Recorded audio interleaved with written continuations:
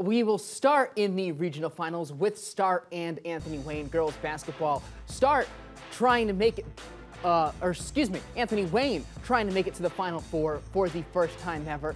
Start is back to this stage for the first time in 11 years. Jenna Rybicki and Amelia Womack forming a dream team early on. Womack taking the dish and delivering and one. She scores the first six points. There's Ty Garrison from long range.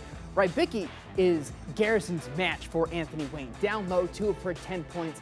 Tied at 20 at halftime. The crowd fired up, but Garrison is on fire. From Sanaya Douglas, swish. Her fourth three of the game drops for the lead with about three minutes to go, but 45 seconds left. It's 36-35 Generals. Elise Bender for some breathing room. 38-35, and that score holds till the buzzer. Breathe easy. First team in program history to win the league, district, and region. You know, this is a really great team that we got to play against. This start team is just a really, really athletic team, and they're super quick. They finish their hoops, so we knew exactly what we had to do is just keep composed and be disciplined. You know, these seniors have believed, they've worked hard, uh, they're very good leaders on and off the court, and I always say, you wouldn't really know who is a senior and who is a freshman, or even who's a sophomore or junior, because they just they all play for one another and they just gel.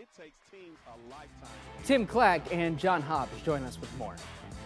Start and Anthony Wayne, two of the best defensive teams and most physical teams in Northwest Ohio, battling for a regional title today.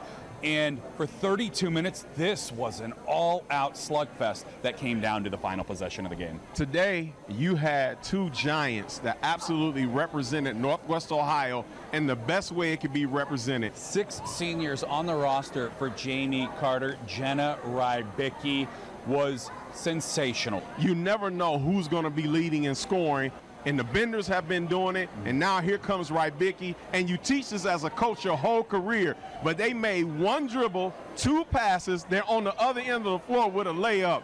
Textbook, baby. Anthony Wayne was picked fifth in the preseason polls, and Coach Carter told us the turning point in the season came in a crucial stretch. First, they beat Napoleon on a buzzer beater, half quarter three, and then they played Dublin Coffman, and that's when they started to have new identity the Napoleon win for them started turning their, boosting their mm-hmm. effort and their energy and their confidence. And then you play a team like Dublin Coffman, and I'm telling you, Everybody needs to have those type of teams on their schedule because it gets you ready for the tournament. A tremendous first season for first-year head coach Dane Franklin and his staff, laying the foundation for success. He'll be back looking at film, getting ready for next year. With that type of dedication, I promise you, it won't be 11 years before Start comes back down here again. Anthony Wayne's magical run puts them in the Final Four for the first time in program history as they move on to Dayton.